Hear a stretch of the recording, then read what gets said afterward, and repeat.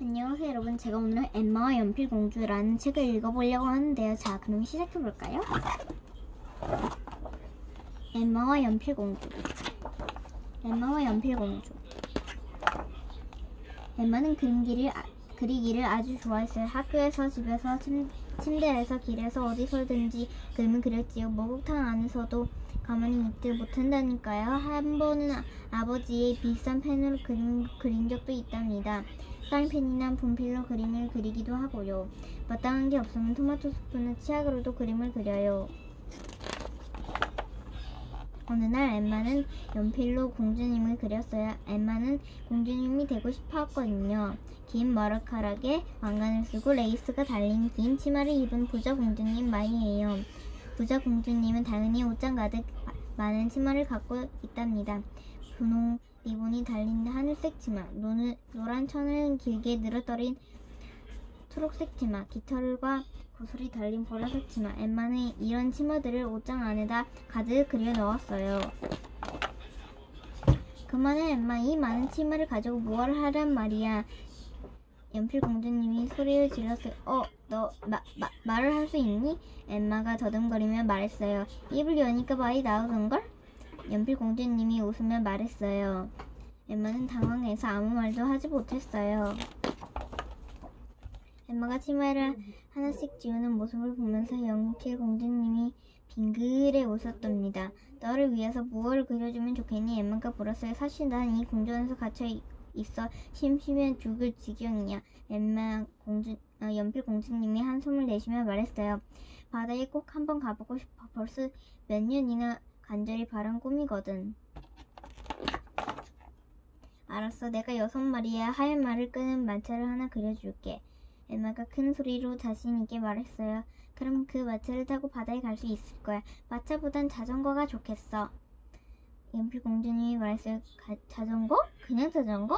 엠마는 연필 공주님의 말을 이해할 수가 없었어요. 자전거는 너무 평평하잖아. 엠마는 이렇게 생각하며 자전거를 그렸답니다. 야 멋지다. 연필 공주님이 기뻐서 소리를 질렀어요. 하지만 주위를 한 바퀴 돌다가 그만 넘어지고 말았어요. 아야! 연필 공주님이 얼굴을 찡그리며 말했어요. 이런 긴 치마를 입고서는 자전거를 탈 수가 없어. 나도 너처럼 티셔츠와 청바지를 입고 싶어.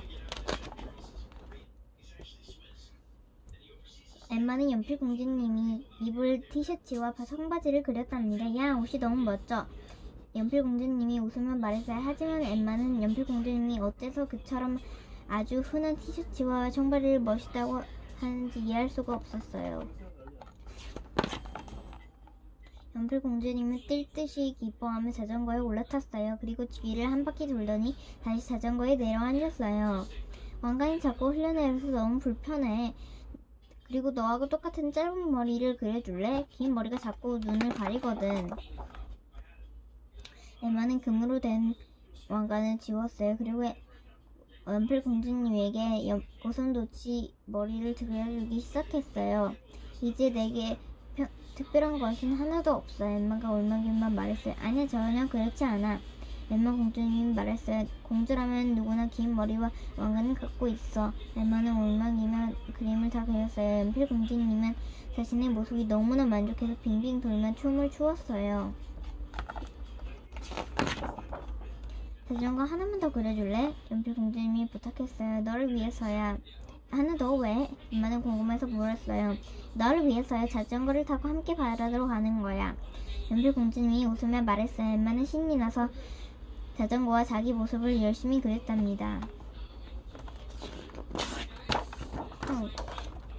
연필 공주님과 엠마는 자전거를 타고 바다로 갔어요. 둘은 마치 쌍둥이 물방울처럼 보였답니다. 누가 연필 공주인지 누가 엠마인지 아무도 알아보지 못할 거예요. 하지만 그런 것은 별로 중요하지 않아요. 둘 다 너무너무 즐거우니까요. 끝. 그래서 제가 오늘은 엠마와 연필 공주 라는 책을 읽어봤는데요. 이 책이 재미있었다면 구독과 좋아요를 꼭 눌러주세요. 그럼 안녕!